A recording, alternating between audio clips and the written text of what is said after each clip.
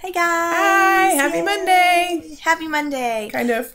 yeah, it's kind of Monday. Technically, it's Sunday night because it's gonna snow tomorrow. So we're just hanging out um, after small group and decided we would just go ahead and do our vlog tonight so we could just enjoy our little ones and be safe tomorrow. Even though it's probably only gonna snow like one to three inches. Better safe than sorry. That's right.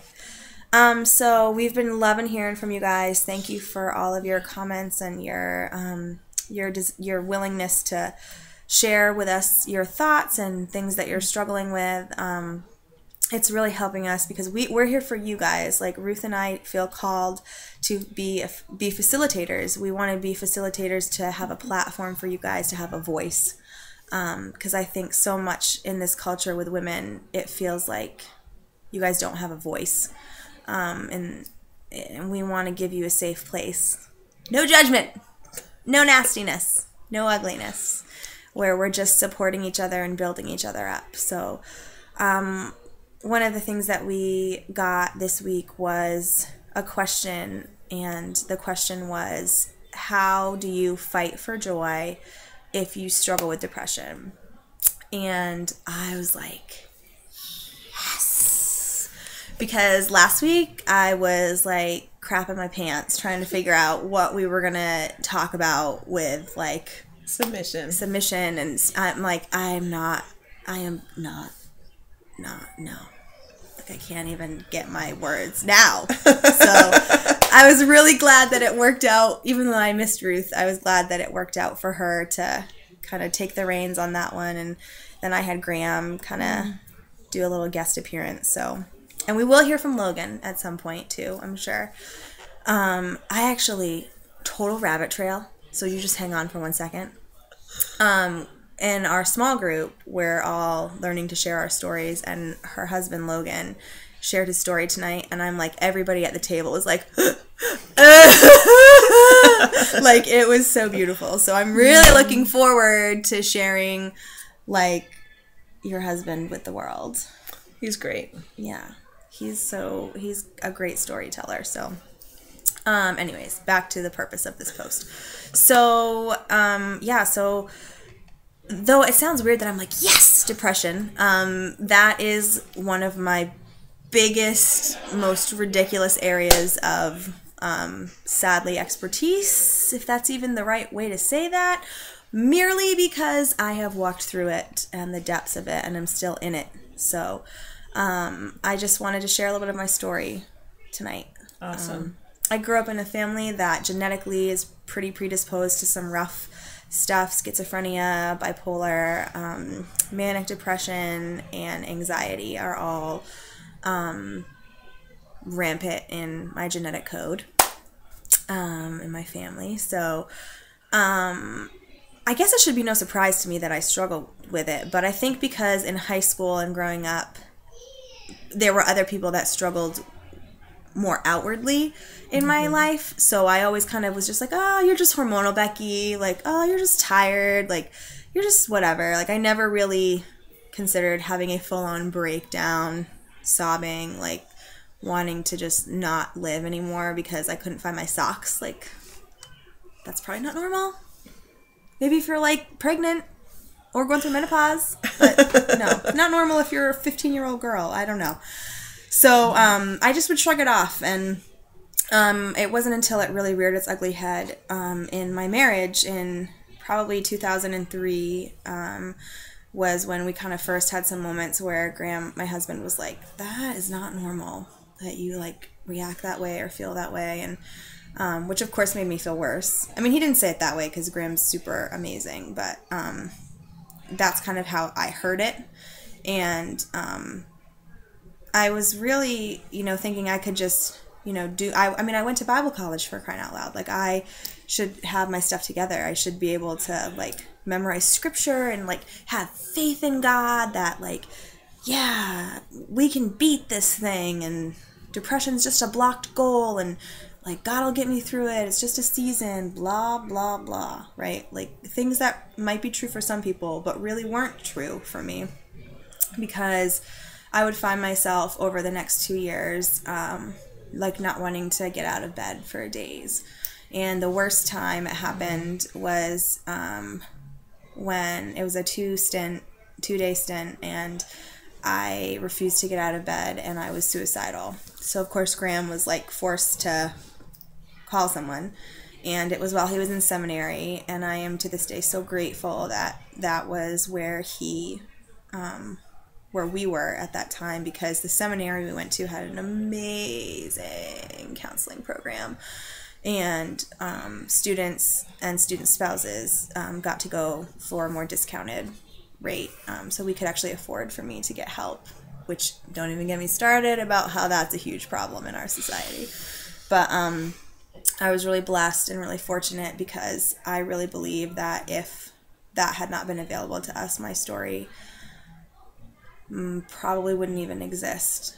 Um, that's how bad I was. So, um, so I can remember feeling horrible amounts of shame because your spouse can't sign you up for counseling. Like they can make the call for you, but then if you're suicidal, you have to speak with an actual therapist and like, you know, agree to fill out a no harm contract, which I can remember feeling horrible amounts of shame, thinking, oh my gosh, like they're asking me, all right, if you feel like you're going to kill yourself, this is your contact information. And over the phone, you're swearing an oath to us that you're going to call someone before you kill yourself. And I was like, failure of my life. Like, great, here I am. Like, horrible.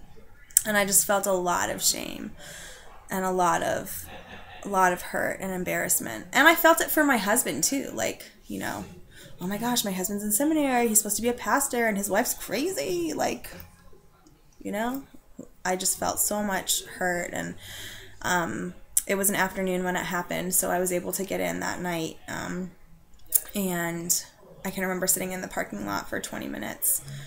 Um, just frozen in fear because I knew just enough about counseling from Bible college to know what was ahead and um, that I had a lot of work to do and it was going to be hard and it was going to suck and it was going to be painful. And was I really up to it? Could I really do it? Um, but God divinely wove within me a scrapper spirit. So I'm a bit of a fighter.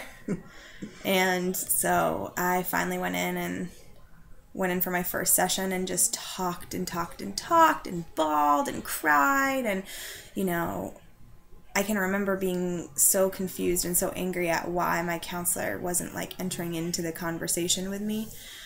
And I finished because I felt awkward that I just like poured my heart out and she hadn't really said anything. And she continued to not say anything. And I was like, Ugh! like, what am I paying her for? And um, in those five minutes um, of silence, she taught me probably one of the most valuable lessons um, that we fear the silence because a lot of times that's when God speaks to us and when we hear God really clearly. And sometimes that can be really scary. And um, and she just looked at me and said, "God loves you." And I like was livid right? It wasn't this beautiful moment where I was like, oh, God loves me. I'm healed.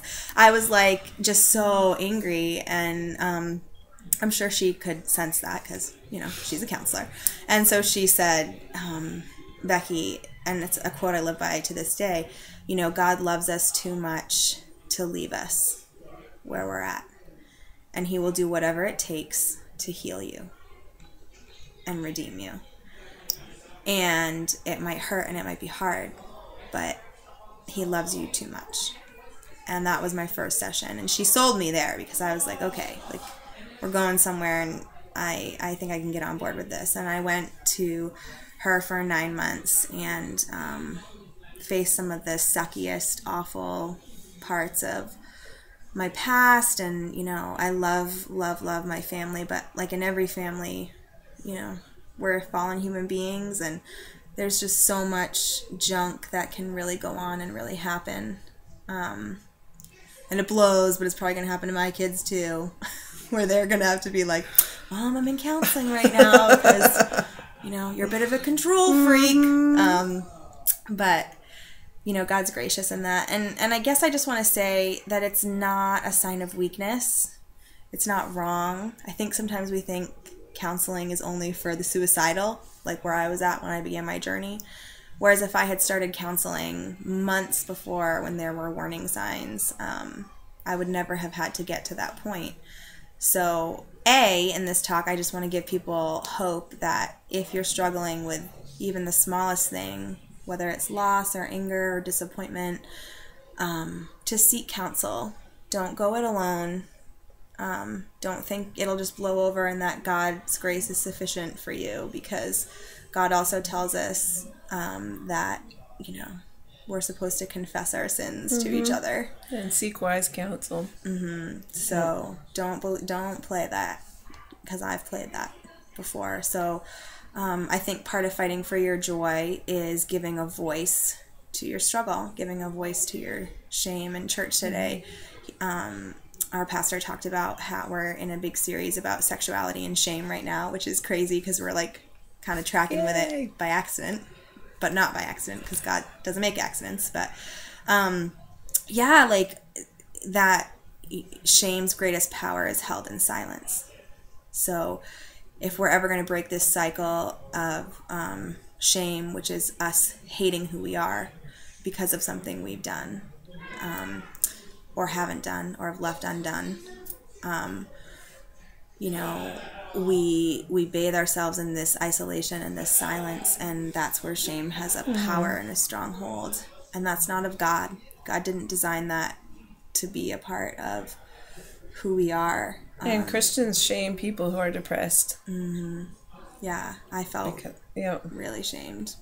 Not from that community, but from people in my um, more conservative evangelical community. I felt mm. really shamed from that. You know, somebody who loves God couldn't possibly struggle with depression. So, um, yeah, and I just, you know, at that time, I I didn't take medication. It never really came up because I did so much work just, you know, working through my past and working through my pain and revisiting places of trauma and hurt and really great stuff. And she told me that when I had my first child, I'd probably have to go back.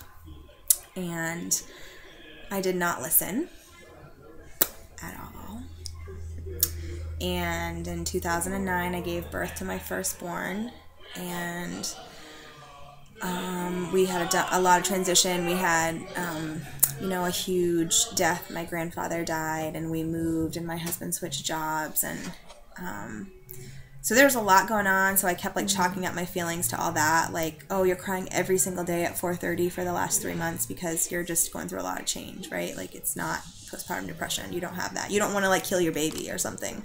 But I was very anxious about who took care of my baby or who held my baby, or I was, you know, beyond normal 1st mm-hmm. mom concern for sure. Um, yeah, so basically, I we moved, and I everything like evened out. We had moved in like I think it was July, and then it was that November when I was like, oh my gosh, like my husband has a great job. We're making our bills for the first time ever in our lives. We have a home.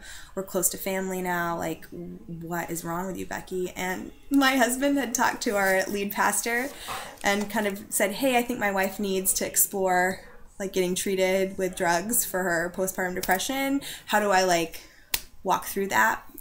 And he had um, shared his struggle with depression and um, his family's struggles. And that was really beautiful for me. And his daughter who would come to be my dearest friend um, she picked me up for bible study and looked at me and said hey becky you're not the only person that loves jesus and needs medication for help with their depression and I was like sold because I didn't even know her that well and she like called me right out on it. So and I was so desperate to feel better at that point that um, I made an appointment and saw the doctor the next week and we began antidepressants and I was on them for probably 2 years and then I got pregnant with Ian and did not take them and then once Ian was born, I felt myself like slipping back into that pattern. So I took them again. And um, I this last summer um, was feeling a lot better and more like actually I was feeling worse on them, and um, so I talked with my doctor and we decided to kind of try weaning off of everything and see how I've done. And so far, so good, right? But I still definitely struggle with depression and anxiety, even though I'm not on medication, and it's probably something I'll struggle with my whole life in the same way a diabetic struggles with Yeah. their health in the same way a cancer patient does. And I think sometimes the church wants to put a really happy bow on it that, like, eh, it is what it is. Like, just Yeah. get over it, pray about it. God will heal you, fight for your joy. When in reality, sometimes we need medication. Yep. But the other end of that is sometimes we don't need medication and people force us into that. So I think my, Or sometimes you just need to walk through the pain of your grief and, right, and face it head on. And it's only for a season. But if it's a chronic thing where it's brain chemistry, then you need to, you know, mm-hmm. wash away the stigma and just accept that just nothing wrong with taking something. Exactly, exactly. So if you're struggling, if you're in a place where, you know, you're feeling like you're fighting for your joy and you're like open to God healing you and walking through the pain, you know, take those steps. Take those steps. Seek God, seek wise counsel and, you know, walk through walk through your your illness, walk through your pain because it only gets worse the longer that you wait and the more you hide, the harder it becomes mm-hmm. to to come out of it. Yeah, don't isolate yourselves. You need mm-hmm. wise counsel, you need community. Mm-hmm. Really, community is what keeps people mm-hmm.